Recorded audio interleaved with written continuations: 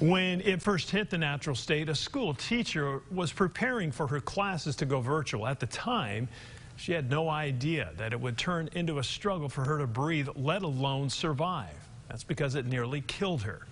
Fox 16's Mitch McCoy live in studio with her story and a closer look at the new battle COVID has left her with. Mitch. Well, Kevin, hello to you. Hello. Good evening, everyone. After being exposed outside of her classroom, she spent half a year in the hospital away from her home and family. Half of it she remembers, the other half she doesn't. But it's how COVID left her that drives her to fight back.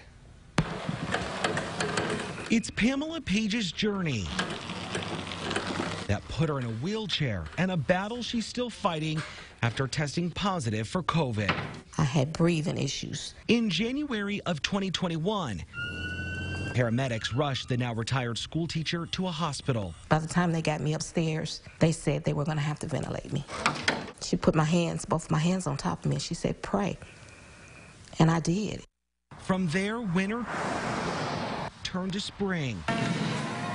A new president took his oath of office. It wasn't until March, three months later, Pamela woke up with no idea who she was. I had a trach, and um, I was trying to mouth to her, Where am I? And she said, Oh, baby, you are a miracle. You had COVID. Pamela coded, nearly dying on the ventilator. She suffered nerve damage. Doctors told her likely not a stroke. I still have this issue. I can't lift it. My hand is. I had none of these issues before COVID. She went home in July, seven months after being admitted, still working to regain her strength despite. My insurance will not pay for therapy any longer. Pamela did not get her full retirement, so she doesn't have insurance, but she refuses to give up.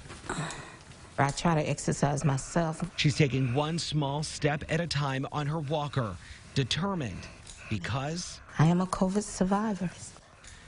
And that she is. Pamela, who had pre existing health conditions before COVID, says she's not old enough for full disability yet and does not get Medicare or Medicaid. She applied for a home health care aid but was denied. Kevin, her secret to survival? Prayer.